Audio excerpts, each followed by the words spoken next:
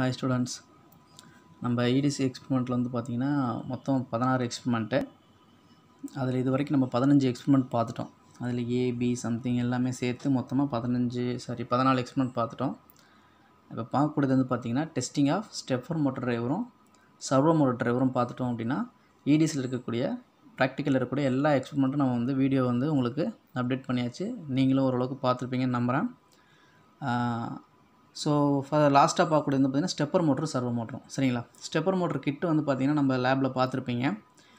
Stepper மோட்டரில் வந்து பார்த்திங்க அப்படின்னா இது வந்து இப்போ சர்க்கியூட் டயக்ராம் புதுசாக கன்ஸ்ட்ரக்ட் பண்ணியிருக்கோம். ஸோ நம்ம லேபில் ரெக்கார்டில் வரைஞ்சிருக்கிறத மாற்ற சொல்லியிருந்தேன். நேரம் மாற்றிருப்பீங்க எல்லாருமே. ஸோ இந்த டயக்ராம் ஸோ இங்கே டேபிளேஷன் இது எப்படின்னு பார்த்தீங்க அப்படின்னா ஸ்டெப்பர் மோட்டரை பொறுத்தவரை என்ன அப்படின்னா ஸ்டெப்பர் மோட்டர் வந்து பார்த்திங்கன்னா ஸ்டெப் பை ஸ்டெப்பாக ரொட்டேட் ஆகும். அதாவது ஃபார்வர்ட்லேயே ரொட்டேட் ஆகும். ரிவர்ஸ்லேயும் ரொட்டேட் ஆகும்.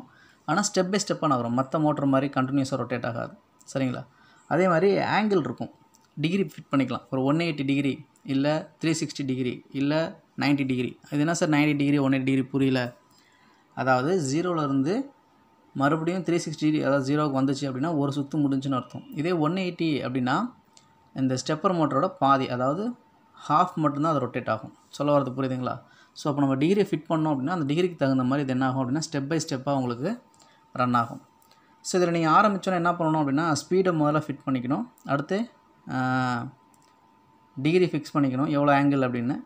டைரெக்ஷன் நீங்கள் ஃபிக்ஸ் பண்ணிக்கணும். ஃபிக்ஸ் பண்ணிட்டீங்க அப்படின்னா அது உடனே நீங்கள் ஸ்டார்ட் கொடுத்துட்டீங்க அப்படின்னா ஸ்டார்ட் ஆக ஆரம்பிச்சிடும் சரிங்களா? ஸோ இப்போ நம்ம டேபிளேஷன் ரீடிங் இந்த மாதிரி தான் இருக்கும். அதாவது speed degree time taken direction இப்போ நான் என்ன பண்ணுறேன் அப்படின்னா ஃபார்வர்டில் ரெண்டு ரீடிங்கு ரிவர்ஸில் ரெண்டு ரீடிங் எடுக்கணும். நம்ம ஒன்று கூட எடுத்தால் போதும். சரிங்க நம்ம ஒரு வேரியேஷனுக்காக அப்படி எடுத்துருக்கோம். ஸோ இப்போ நான் ஸ்பீடு வந்து 19 நான் ஃபிட் பண்ணிக்கிறேன். டிகிரி வந்து ஒன் எயிட்டி வச்சுக்கிறேன். அடுத்து வந்து என்ன பண்ணுறேன் ஃபார்வர்டில் கொடுத்துட்றேன். கொடுத்துட்டு நம்மக்கிட்ட ஒரு ஸ்டாப் வாட்ச் இருக்கும். அதை வச்சு நம்ம ப்ரெஸ் பண்ணும்போது ஆட்டோமேட்டிக்காக அது என்ன ஆகும் அப்படின்னா ஃபார்வர்டில் ரன் ஆகி நின்றுக்கும் ஒன் எயிட்டி டிகிரியில் போய் ஸ்டாப் ஆகிடும் ஸோ நிற்கும் போது எவ்வளோ டைம் எடுத்திருக்கு?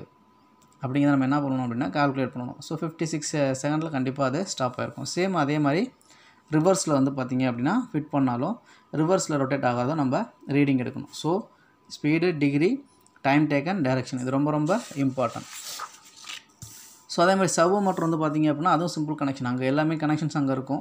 ஏ ஏவோடையும் பிபிஓடையும் அந்த மாதிரி கனெக்ஷன் பண்ணுற மாதிரி தான் இருக்கும். இதில் வந்து பார்த்திங்க அப்படின்னா ஸ்பீடு டைரக்ஷன் மட்டும்தான் நம்ம ஃபிட் பண்ண முடியும். சரிங்களா? ஸோ ஃபார்வேர்டில் வந்து பார்த்திங்கன்னா ஒரு மூணு ரீடிங் அதாவது அறுபது தொண்ணூறு முப்பது அந்த மாதிரி இந்த வேரியேஷனில் வச்சு நம்ம என்ன பண்ணோம் அப்படின்னா ரீடிங்ஸ் வந்து எடுக்கணும். ஸோ இதுக்கு வந்து இந்த கிட் இருந்துச்சுன்னா இன்னும் கொஞ்சம் உங்களுக்கு பெட்டராக இருக்கும்.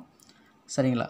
ஸோ நான் அதுக்கு வாய்ப்பு இருந்துச்சு அப்படின்னா அந்த எக்ஸ்பிரிமெண்ட் நான் வந்து வீடியோவாக எடுத்து உங்களுக்கு அப்டேட் பண்ணுறேன் இப்போதைக்கு இதை வந்து கைடாக வச்சுக்கோங்க. சரிங்களா? தேங்க்யூ